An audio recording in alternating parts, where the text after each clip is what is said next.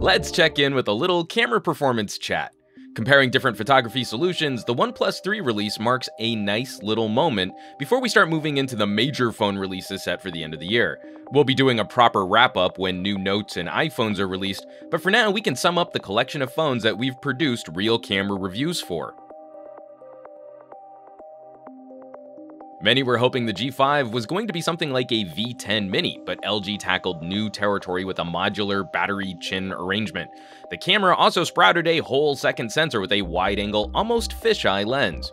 The things we liked from the G4 remain. This app is nicely laid out with options for the most basic control to full manual options, which include excellent tools for reporting exposure. Still photo performance is excellent and LG offers up terrific saturation, colors pop, but we don't descend into oversaturated output. The second sensor is nicely tied into the experience and it becomes a standard part of the camera's zoom range. Video isn't this camera's strong suit, however, with zero controls to adjust other than where you focus. And while the imaging and processing features are terrific, the main camera lens is maybe the poorest performer on this list, most prone to aberration and distortion. In all though, the LG G5 is certainly the most flexible camera package of 2016. Now, LG wasn't the only company to release a dual sensor camera this year, but Huawei's approach is about as different as you can get. Here, the two sensors work in tandem to simulate how the rods and cones work in the human eye, delivering incredible color and dynamic range. These sensors were influenced by Leica, and the P9 achieved some of the best photos we've ever seen from a phone camera.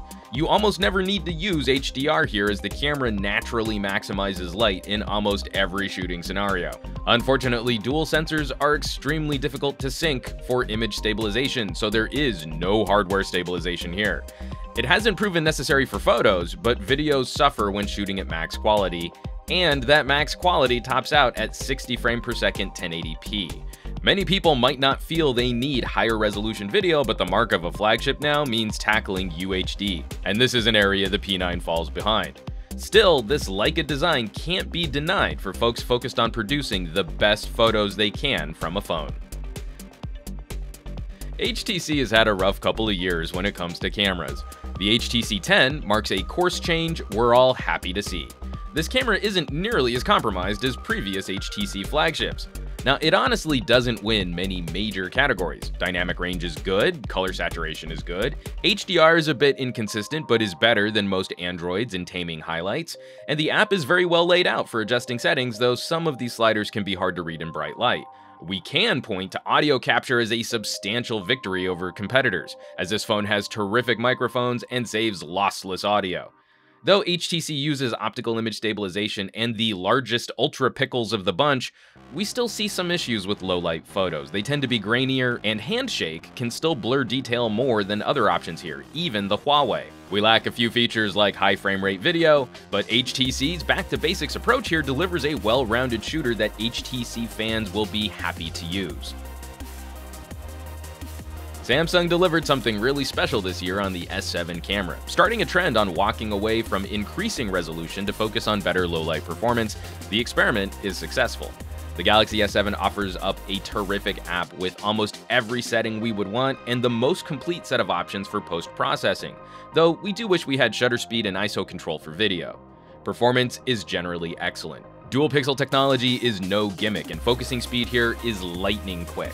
Samsung still produces saturated and sharpened images, but has toned down some of the more aggressive processing they've been known for in the past, and video performance is top notch.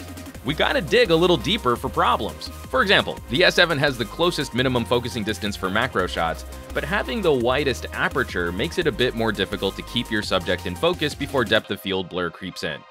See, that's really not much of a bummer. The Galaxy S7, folks, it's a killer camera. But what if you could get like 85% of a great camera for like 60% of the price? We think that would appeal to a lot of folks in our audience, and that's what OnePlus has to offer. It's a very good all-rounder for photos once you figure out a few of the quirks.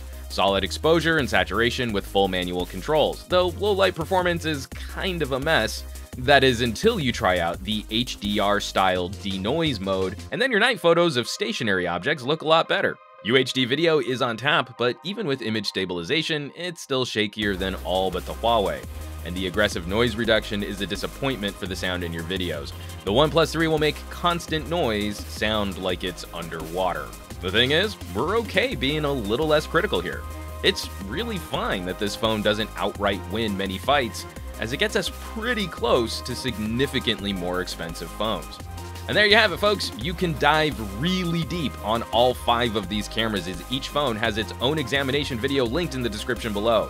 Our real camera review series is still pretty new for this channel, but we've been getting great feedback from our viewers, and we're looking forward to running more phones through these tests. Which smartphone camera are you most looking forward to for an intense test and review? Drop us a comment below. As always, thanks so much for watching. Be sure to subscribe to this channel for more smartphone camera chat and hit that thumbs up button for a little extra positive reinforcement. For Pocket Now, I'm Juan Carlos Bagnell, some gadget guy on Twitter and Instagram, and I will catch you all on the next comparison.